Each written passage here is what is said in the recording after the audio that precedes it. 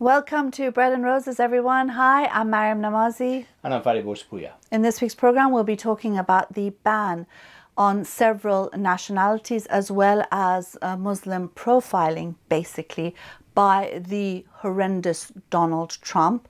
We'll also talk about an insane fatwa on how it's all right to cheat in your English exams. And that's from Saudi Arabia. Of course, where else? And we've got our wonderful slice of life, uh, which is the resistance, both legal and on the streets, against Donald Trump's racist ban and attack on refugee rights. Yes, and this week's interview is with Hamid Sabi, one of the lawyers of Iran Tribunal, on the purpose of this campaign and what does Iran Tribunal mean for justice for people of Iran. Stay with us, don't go away.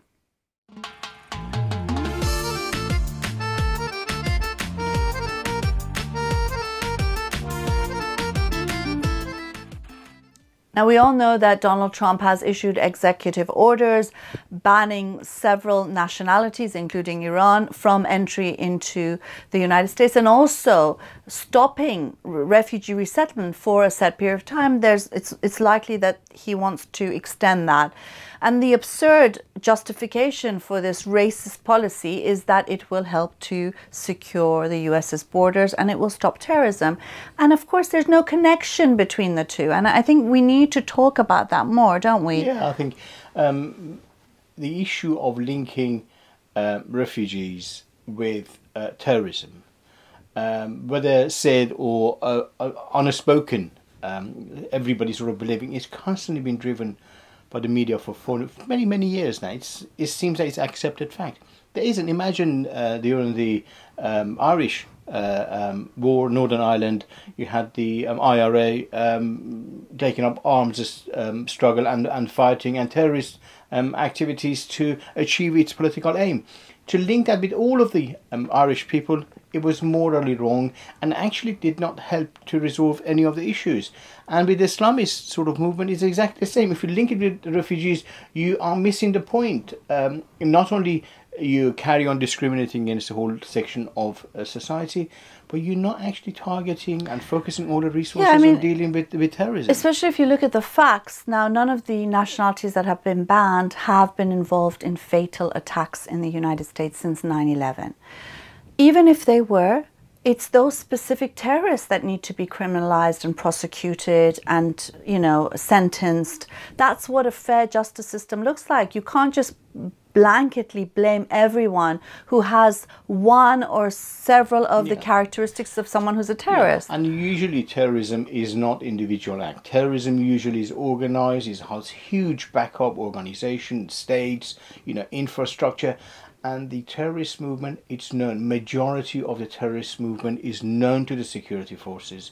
They know what the sources are. They've been monitored regularly and they need to deal with those specific and pro uh, so when we talk about sort of behavioral pro, uh, uh, profiling this is what is aiming to a specific organization. When you start uh, profiling or dealing with the whole nation for example a race or nationality. everybody from iran coming you know being banned from entering united states and uh, you know that might be extended by the right wing in Europe, you know, banning everybody coming from Middle East. It's just first of all, it's impossible.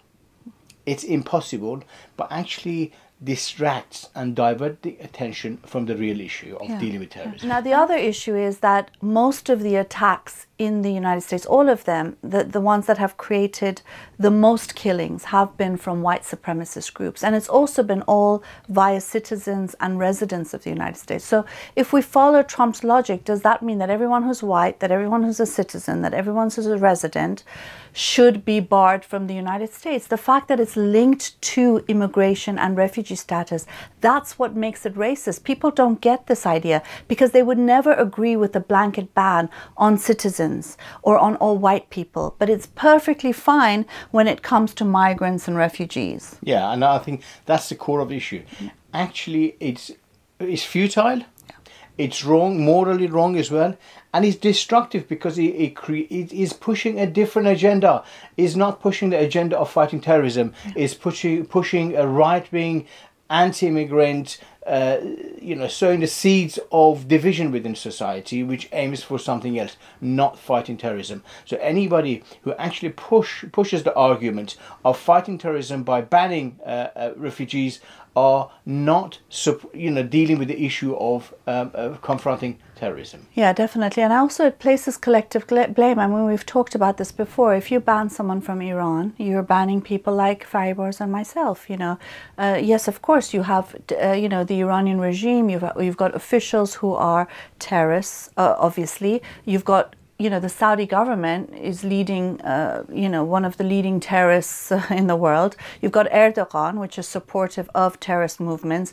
These states, some of them, have really good relations with the West. And by blaming migrants and refugees, you sort of allow those who have this sort of a real role yeah, in, yeah. in promoting terrorism. It's as if they're not to blame. It's just, you know, migrants and, and refugees. And I think that, that that's the key issue um, that we've been sort of arguing through this program and we want to highlight this and we'll continue to highlight this issue. Yeah, but uh, just one final point is when you have people who are atheists and secularists defending the profiling of Muslims or defending, you know, the sort of banning of certain nationalities, they're feeding into this right wing narrative and they are feeding into a situation which they also need to look at, you know, how it helps to create a climate that makes racism that makes bigotry acceptable, normalized. And that's something that we need to resist. We need to be able to fight terrorism, at the same time, defend people's rights, citizenship rights, human rights, irrespective of people's nationalities or their immigration status.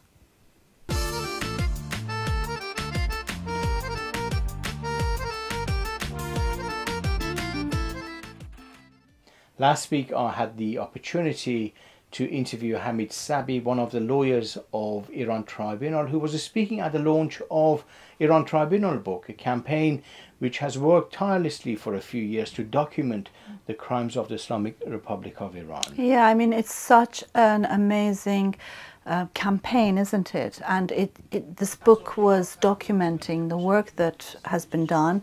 And of course, Hamid Sabi has been one of the eh, most, you know, instrumental of the, the lawyers who's been pushing forward this movement for justice, you know, and accountability for those who uh, were massacred during the 80s uh, for some sort of uh, justice for their families and yeah. loved ones. And, and this is um, uh, one of the important uh, campaigns um, in Iran and Middle East. It's the first time that formally an international uh, group of lawyers have uh, looked at the evidence presented by families, uh, relatives, and some people who suffered under the Islamic uh, Republic of Iran in uh, the 1980s and actually condemned them as uh, uh, breaching not only the human rights law, but actually committing crime against humanity.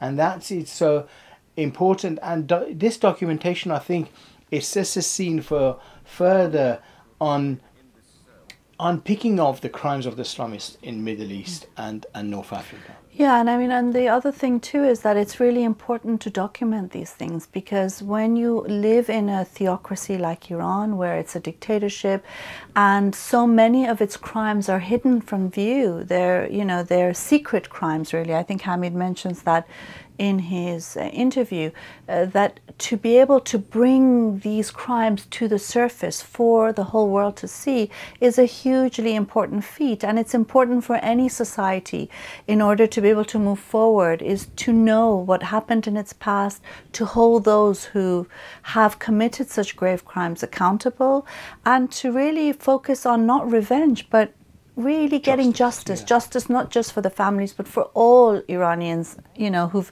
who've had to live through this dark history. Yeah, and I think the world must know what's happened under and is happening under the Islamic regime mm. of Iran.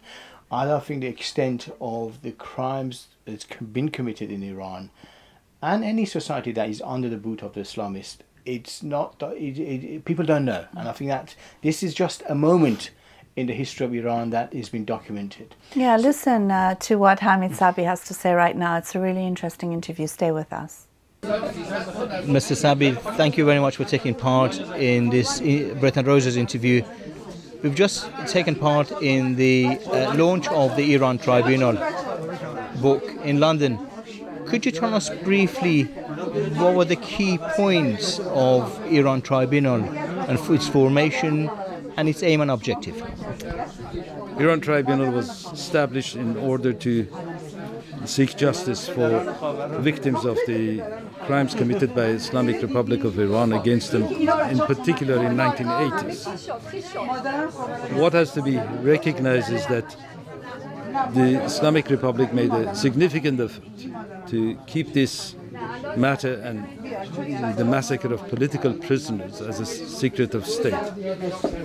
None of the relatives of the victims were allowed to advertise or tell anyone as to the events. The graves were unmarked.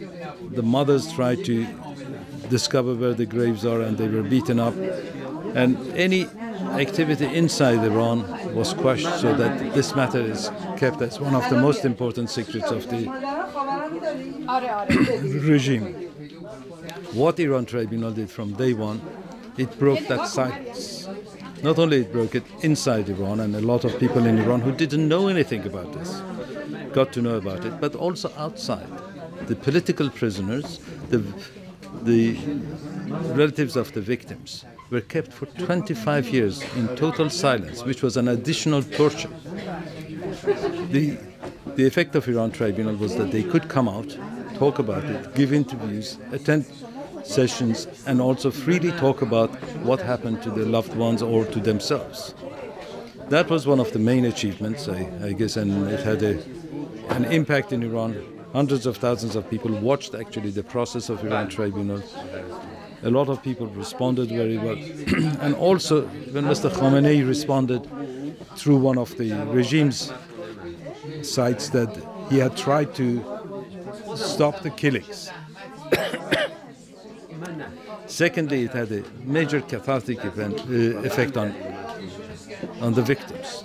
These were the people who were tortured or lost their relatives and were not able to talk about it. For the first time, there was a public hearing where people could attend and they could talk about the events and what happened to them or their relatives. And that was a great event for them. I think it was also a major achievement that this matter was dealt with. And thirdly, I hope we, we have achieved a positive movement on, on the side of bringing justice to the concept of these crimes that were committed by the regime, bringing shame to what, what, to the perpetrators, and also bringing some confidence in the victims that they can stand up here, as you've seen today, and talk about what happened to them, and continue with their justice-seeking efforts. Yes, and one of the uh, um, features of the tribunal has been um, demanding justice with no revenge. And it's the first time at the same time that the Islamist movement, movement in Middle East and North Africa, actually its crime has been documented. And the relationship between this and the movement for not seeking revenge but justice, how do you see that sort of in a broader uh, impact on the future of Iranian society and larger Middle Eastern society. I hope Iran Tribunal would be instrumental in putting an end to the cycle of revenge and violence. The Shah's regime committed, although at much lower level, violence against its own citizens and executions and suppression of the opposition groups. People were hoping that the new regime would change this, but eventually it ended up being far worse than the Shah's regime, with violence originally against the leaders of the previous regime, but then it, can, sp- spread around all those who opposed the regime, one way or another, were also tortured, imprisoned, and it all culminated in massacre of political prisoners in 1988, which is a disaster for Iranian history. I mean, this is an unmitigated disaster, and at one stage, those who have committed it has to stand up and uh, pay for it. But it is essential in all justice-seeking movements that it is not for revenge. revenge would destroy the whole purpose of justice.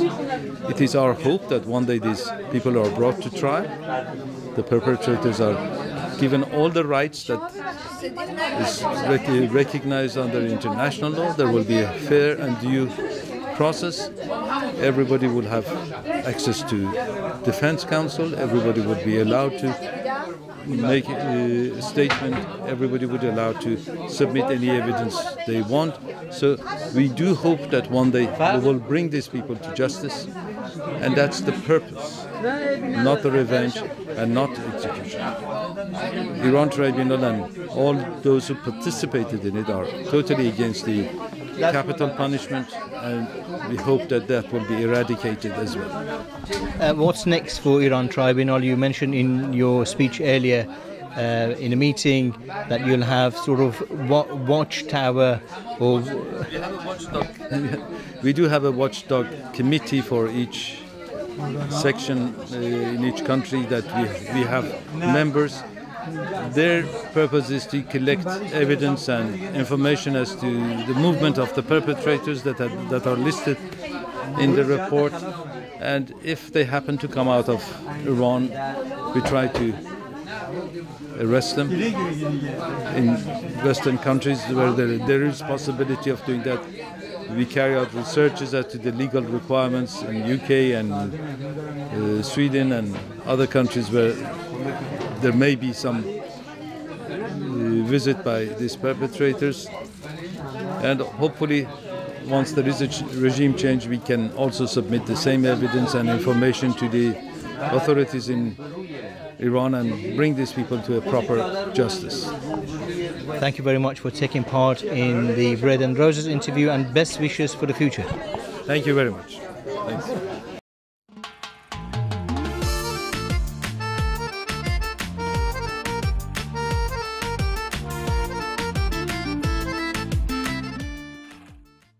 The insane fatwa is from Abdul Rahman bin Nasser Al Barak. Very Okay. long, long name for a stupid, stupid fatwa. Stupid fatwa. And He's- he's from Saudi Arabia. He is well known in the fatwa, stu- stupid fatwa circles. Very well known. And he's issued a fatwa which says that it's perfectly fine to cheat on your English exam. English. Not other exams, but your English exam. Do you know why? Before before going to reasons, this guy sits on the uh, scientific committee of Riyadh University. Oh no, how This is surprising. any. This is not any stupid sort of. He's a stupid, but he's not any other sort Well- of mullah who has no ranking. This guy sits on the top of the scientific committee of Riyadh University. And rightfully so, because he, he has some very good reasons for why you can cheat on your English exam. and he said, because English is poison and corrupt. Of course. That's why you can cheat. And also the other reason is other people have tried to justify why he's done that. So look, it's hard. Everybody fails in English exam. So You it's fail. okay to cheat because you need to you need to pass your exam. you need so- to pass this corrupt language. Yes, hmm. I know. Hmm. It's it's silly. Insane. It's, we've got more fatwa from him. Shall I? We'll Next leave that, week. We'll leave that for next week. Don't tell them everything Okay. now. Stupid fatwa.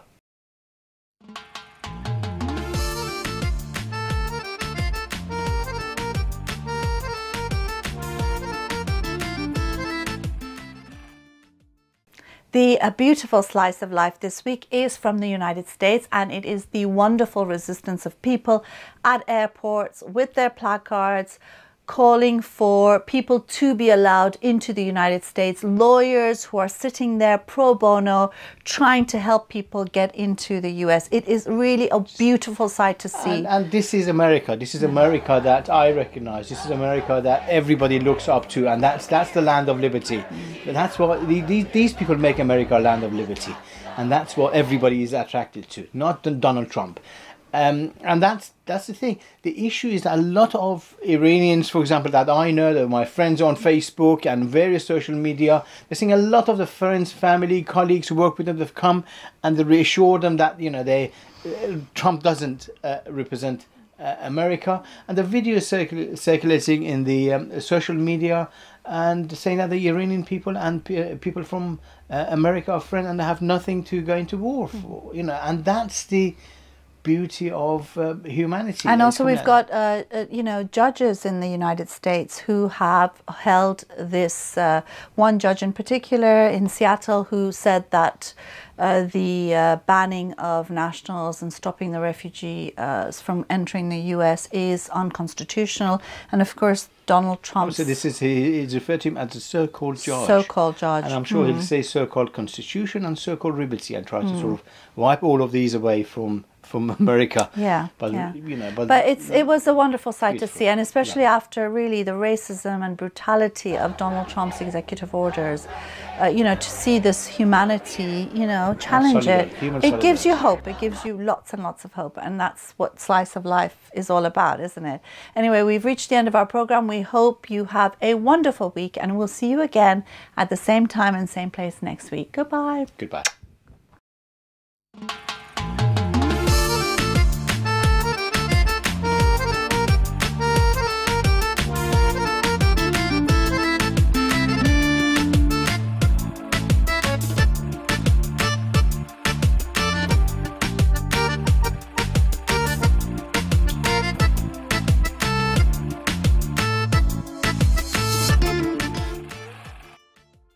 I'm Maryam Namazie. And I'm Fariborz Pooya.